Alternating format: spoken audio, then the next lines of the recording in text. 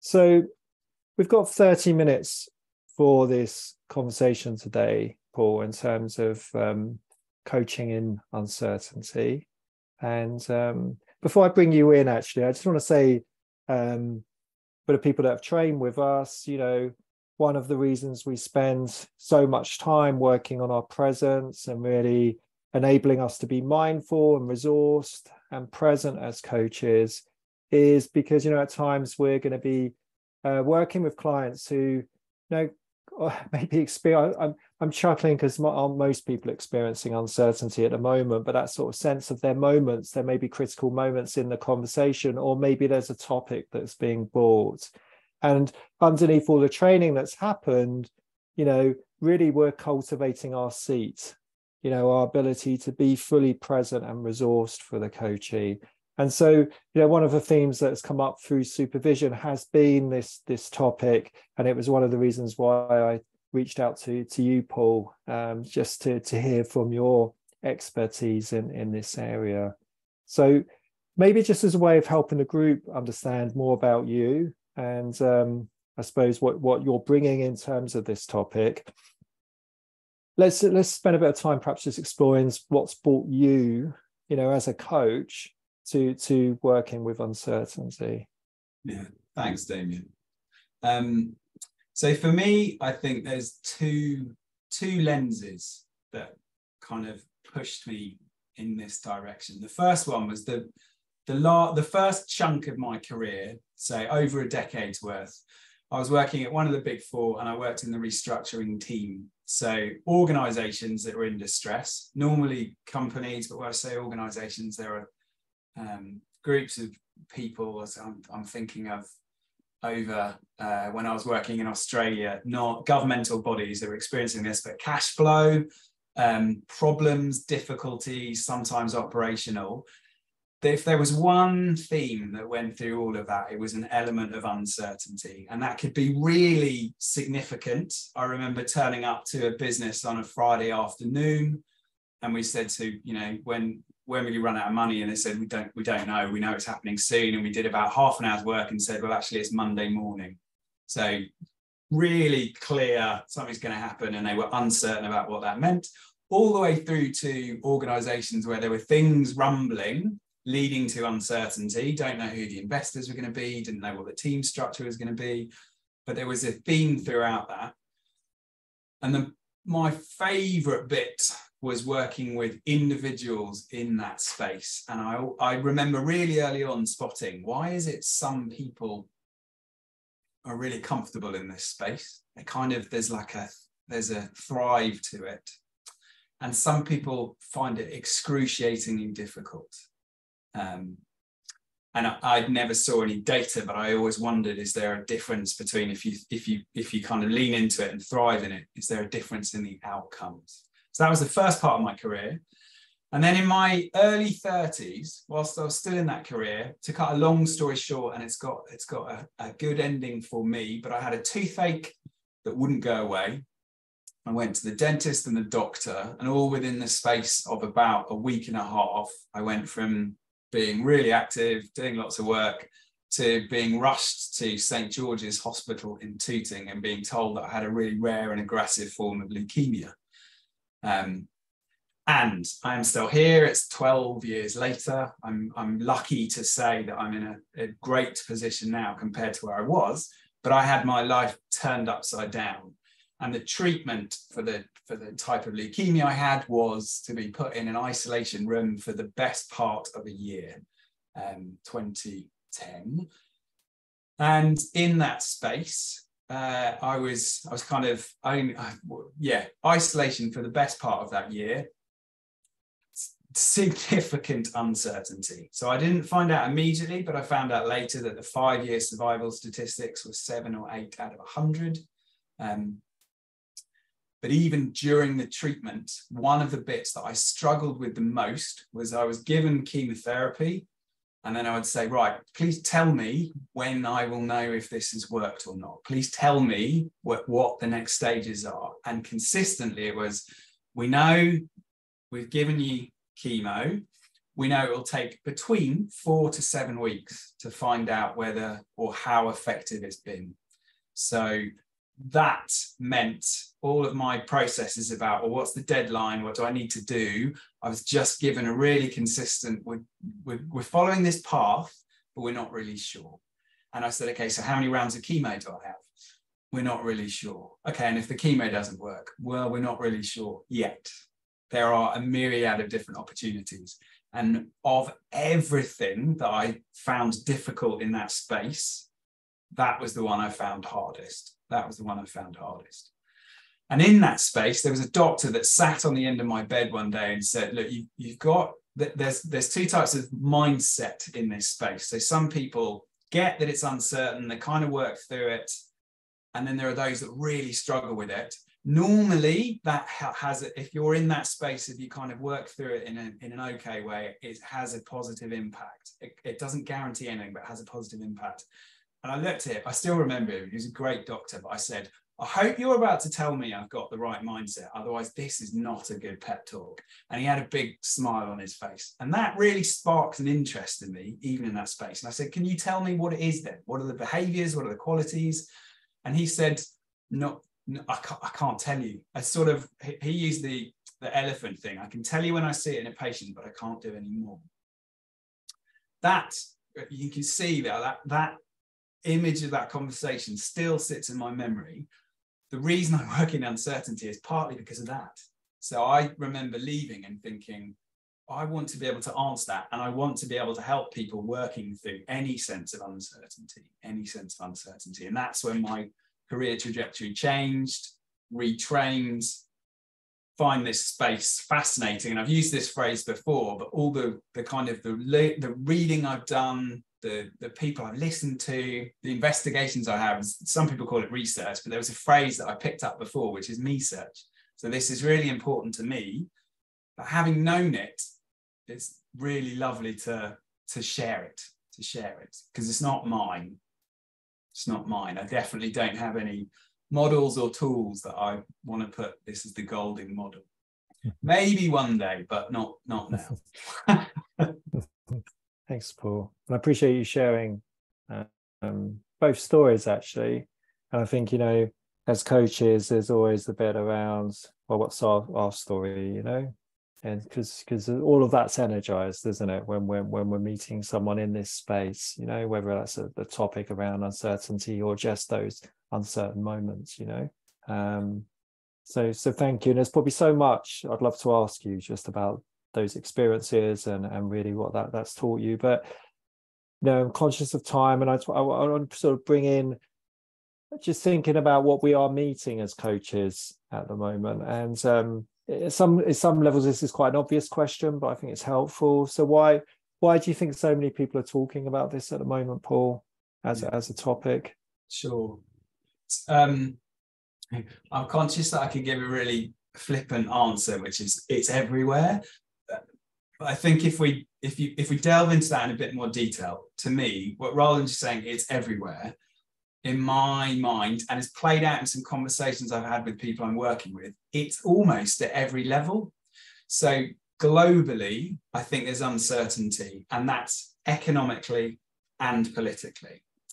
And if you go down a level within regions, there's an awful lot of uncertainty. Sometimes it's economic, sometimes it's political, sometimes there's other factors. And if you go down a level within countries, within organizations, those that so the economic and the political having an impact in organizations, but it also seems really powerful at the moment for companies to be going through restructurings. I'm not sure I've ever worked with so many individuals that say, well, we're having a massive restructuring, which is having impacts across the board, which then in turn has impacts on teams, and individuals. And so, therefore, you've got organizational change, uncertainty that goes with it, as well as external, so political, economic, and then we can obviously bring in the, the medical or the COVID. So, uh, it's a really obvious topic, but lots of um, people that I was working with during COVID was the, the uncertainty was I love being a leader, but I used to lead by looking out across the floor and I could smell what was going on with the team Yeah, I've just realised how that sounded. So there was like a sense within them. There was a sense within them that they knew what was going on in the team. If they could smell it, I think that would give them other data. Uh, so I, I, shouldn't make myself laugh like that. I can only apologise. So, um, and then they were saying, but everything now is online. So there was a, a personal sense of, I don't know how to lead in this space because I, I don't get the data that I used to get. And that was leading to uncertainty. So, so to me, it's almost at every level. And when it's at every level, um, individuals can then think, well, what, it just feels like it's everywhere. I d- I don't know. It, it, does that resonate with you, Damion? I, I'm, i know well, everyone listening will have their own lens on. Sure, that. sure. It does. I mean, it does. It does. And I suppose you know, you know, existentially, there's uncertainty. We take the, the the, climate catastrophe, you know, that we're experiencing. So I think at a, a very very deep level, this is there implicitly and explicitly in in the conversations that that we're holding and you know, coaches for a long time, we say things like, well, the only constant is change, you know, but the reality is, you know, things are fundamentally changing, you know. Um, and for a lot of my coaching clients, yes, there may be personal choices that are emerging out of this around, you know, uh, who I want to be now, but there's a lot of anxiety that I'm meeting as a coach, you know, in terms of what the client is bringing for themselves, but also what's within the system. And again, we could look at levels of systems, you know. Mm-hmm. Mm. And um, I mean, and again, this is a short session today, and I'm sure we could spend time unpicking all these different levels in terms of people's experiences that, that are watching this as well. But you know, coaches, we often want to know the the so what bit really. Um, and I suppose you know based on your experiences paul and i appreciate you saying that you you know you haven't developed your own model yet or yeah. way of working with this but i'm sure there are key approaches that inform your practice as a coach working in uncertainty yeah. so i suppose question would be therefore so what do you rely on you know in your own practice yeah mm-hmm. um so i I like a two part answer. I think the, the first bit, which, and I share this in the hope that this uh, creates a sense of comfort or ease, but the core skills that a great coach will do to me are effective in this space. So I think um, being curious about what that uncertainty means within the other person, um, non judgmental, um, so, so therefore core listening skills, questioning skills, so insightful questions that can help someone, um, you know, you can talk about reframing of that uncertainty. All the core skills to me are really effective. There are other models, tools, techniques that I think you can layer into that that I've found have been helpful. Um, so if I just pick a couple, I quite like, for me, the theory U stuff, the Otto Scharmer theory U, where we delve into the unknown and are comfortable in that unknown for there to be um, a different awareness and an outcome realization, gives me sense when I'm entering that conversation. We're going into the unknown, but it's being comfortable in the unknown and the unknown and uncertainty. Therefore, to me, there's a link in that. So that's for me. I also then sometimes will share that with the person that I'm working with. So we're going to delve into the unknown, the uncertain, with with a comfort that there's value in the process that will that will come will come back to an outcome. So the theory U. And then another another couple that have really resonated. One, I'm I'm really happy to share. You you shared with me a number of years ago, which is the windows of tolerance idea. So the idea that we all have tolerance, and in in this sense, we can liken it to un, we can link we can take the, the core concept as uncertainty, but you can have a central there's, there's a three layer diagram. So I, am quite visual, so I remember it like this. And at the top, you've got hyper arousal. Then you've got your window of tolerance. And at the bottom, you've got hypo arousal. And the idea being that when there's so much going on, when we're hyper aroused, that is where we're thinking about um, there's there's too much. So we're in the fight or the flight response. The, the opposite, hypoarousal, is where we're just a bit overwhelmed. So we kind of go into the freeze. And if, so as coaches, we're working with people that are psychologically well. So that is a model that therapists can use with people that are potentially really withdrawn. I liken that to, or when I'm working with someone, it's, it's conversations like, so if that's the model, hypoarousal might, might play out as things like indecision or a withdrawal from that area of their work. And then I just use normal coaching techniques.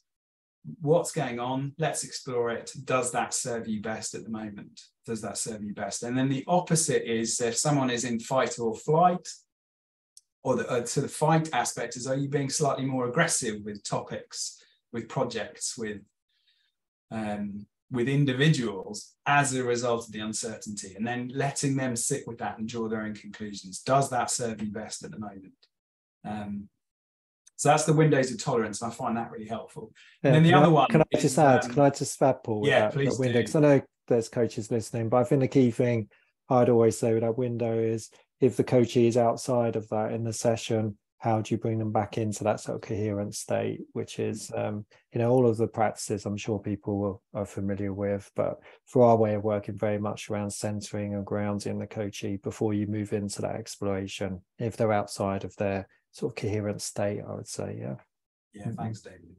Thank you. Uh, yeah, and in that sense, I often because if you're working with uncertainty, it's very common that anxiety pops up, and so I'm conscious of the choice of okay, so if the emotion is big, asking thinking questions in that space that helps them regulate in that space. Um, and then the other model, which I, I think this is really simple to share with someone and, and adds real context to the conversations, which is the, the Mason. Uh, he did some work on safe, unsafe, um, certain, uncertain. So he created a grid. So if you've got, if you can imagine safe at the top and unsafe at the bottom, certain on one side, uncertain on another, the idea that we can be in any of those spaces. So if I and and so just sharing that with someone and saying, so where do you sit at the moment in relation to this? And I say, well, you know, and then it's always going to be more complex. But okay, so so you know, where where might you sit on an average day? And they can start talking about well, it's pretty uncertain. Then you can say, okay, is it safe or unsafe? It gives them a different lens. And then asking them where would they rather be and what's within their control to move in that direction. Um,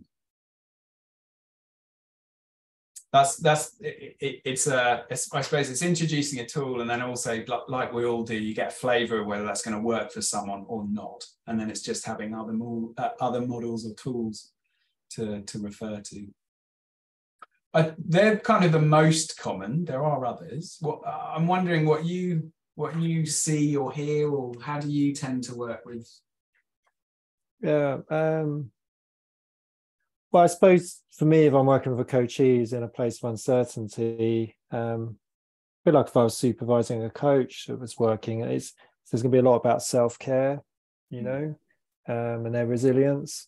So, um, so for me, in my practice, you know, and people won't be surprised, but that mindfulness piece, you know, I'm really would be supporting a coachee to develop their capacity to to be in the present rather than engage in the narratives that may be happening around the the uncertainty that's happening um, and and developing those qualities of self-compassion i would say because you know in in these moments we're not always talking to ourselves like uh, we would a best friends so i would I'd, i suppose that would be a core piece from from my own coaching practice and then you know for the coaches who are on here that, that that come to supervision with me in person they know that i often use constellations and systemic processes as a way of sort of exploring some of the psychological and systemic dynamics that are playing out for someone.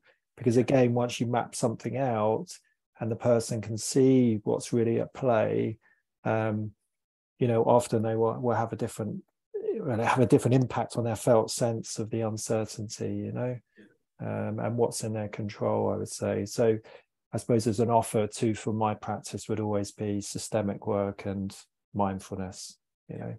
Mm-hmm. Mm. I'm also I'm I'm conscious of the when we talk about working on ourselves as a coach. Quite in um, Barry Mason wrote a paper that surrounded his model, and one of the one of the phrases he uses that really resonated with me is if we as the person that's working with the person experiencing it if we don't understand our own relationship to that it can lead us to somewhere. And one of the things which i think comes from a lovely intent but isn't helpful is where the, so if, as coach if i think well i've got to get to certainty i'm going to jump to what he described as premature certainty. I quite like that and he was saying it's not for us to be driving that, is to be comfortable with them in that space. Mm. He described almost the opposite of being something called authoritative doubt.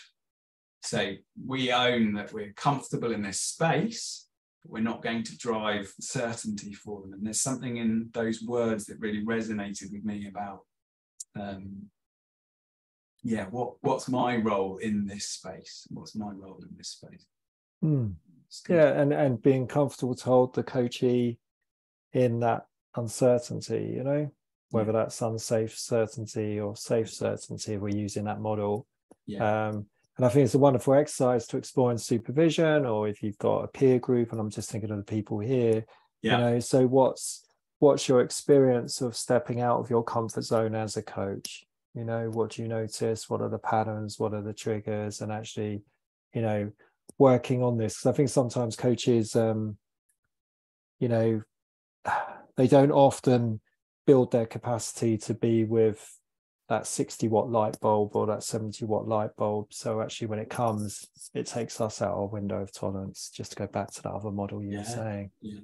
So I think that framework you're sharing is quite a helpful one to actually play with as a coach. Yeah. So how about thinking about, um, I suppose, you know, we're, we've got a few minutes left, but a sense of, I suppose, what's next, Paul? You know, there are a couple of models you shared about the why, I suppose, what are your your hopes and your wishes around this as a yeah. as a theme for coaches? I'd say. Yeah.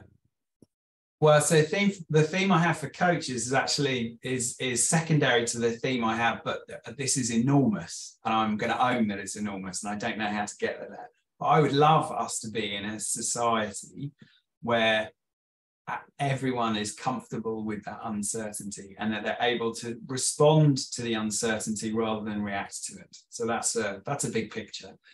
I'm not going to own that i'll fix that immediately but i'd love to move in that direction. I think that my wish i suppose in the coaching space in the world is in service of that that larger piece of work. It'd be lovely for our community coaches to be comfortable working in that space to enable others to work in that space to enable others to work in that space. And i'm i'm aware from my days in restructuring that some people naturally love that space. They people gravitate towards it and it's really comfortable. I do wonder if my experience in restructuring taught me an element of that but it's helping others to be in that space. Others to be in that space. That's my hope and if and if I suppose based on your experiences, Paul, and I appreciate you know because of you know that that fundamental experience you had personally, but also your your previous work. From those experiences, if there was one thing you would encourage the coaches that are listening to to do if this was a capacity they wanted to develop for themselves, what what would your advice be? Mm. I, I like the coaching approach to this, which is to, to take time to ask yourself the question on what you need in order to, to work well in that place. In order to work well in that place. Because I, I really value that there are lots of different ways to get comfortable with working in this space. Mm. I like that. The, the question what will resource you to do great work in this space? Because slightly answering that, if I may, for some people it might be, do you know what? I want some more comfort through understanding. There's loads of neuroscience, psychology about what's going on in our brains, and that can be really helpful. But for others, it's uh, what's my relationship to this topic, this uncertainty? Mm-hmm. And how do I then make use of that in the conversations I'm having? Thanks, Paul. Sure, there are others actually, but well, and just and just to say, and if it's an and, you'd like to understand the neuroscience, the psychology, and your own relationship and how you resource, just just to say to the group that next year Paul will be running a CPD day for for our group and our alumni just around this topic, really sharing the tools, the approaches, etc., that he uses in the space. So if that's of interest, you know, we will be sending information out around that uh, the early part of next year. So uh, we're coming sort of close to time, and these are always supposed to be bite-sized CPD sessions, just to start some thinking around this. I really want to say firstly, thank you, Paul, for your time. I really appreciate you know you making the time for this. Just what would you like to say to the group, just as a way of closing for yourself? Uh, thanks for being here. Uh, my my hope is that this is helpful for you, that you can take this and it either sparks an interest or it gives you confidence or comfort. That's my intent. I hope. I hope that's the case. Thanks, Paul. Thank you. And just to say to to everybody that's that's listening in, uh, we have got another webinar next Monday, um, which is on a topic that's very dear to my own heart and my own practice, which is transpersonal coaching. So next Monday at two o'clock, a bit of a later time, I'll be in a dialogue with Karen Prentice, who's one of our uh, core faculty as well. So thanks to everybody for dialing in. I really hope there is some food for thought for you personally and professionally from, from this session really uh, look forward to connecting again soon and uh, go well in the meantime. Thank you.